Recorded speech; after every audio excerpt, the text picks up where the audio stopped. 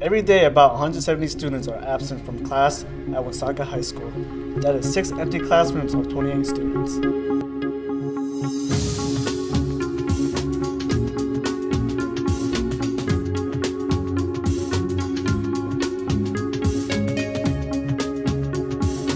Why do you go to school?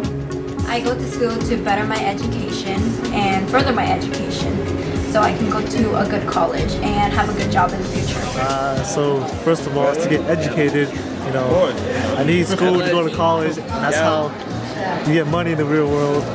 And also to meet or to see my great friends, like uh, this guy right here. I think I'm weird. Well, I don't know how to get educated because you need education to be successful, and I want to be successful. So, go to school so I can uh, get a better education and get the skills that I need to succeed in life. Come to school. You belong here. You deserve a bright future. Every great journey begins with a step. make today your first.